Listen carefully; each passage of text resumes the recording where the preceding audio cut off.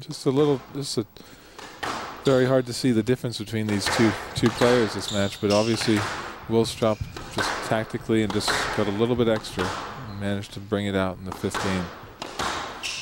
Let's see if he can close it out. Yeah, this last game he just manoeuvred him around the court well. This could be it. Sets up. A lot of pressure from Willstrop. Wants to finish on a high note. Back into that backhand corner again.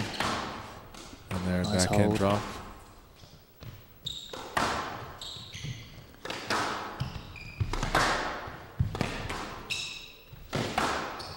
Lovely length. Forces it. Gets another chance. Oh, great counter from Nick. It's that big reach from James, really helping him there.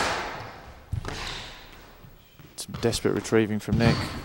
Lovely gets. A little higher with the length. And back to Right now, he's just happy to get the ball to the back wall. He was on a huge onslaught there, desperately saving their match. If he wins this rally, there'll be a huge cheer.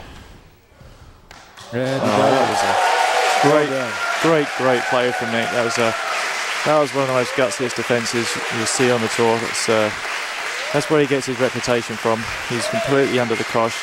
James is match ball. He's controlling him, working him, and he just keeps that fight going. This is why he's such a hard person to beat. Hand out, 7-10.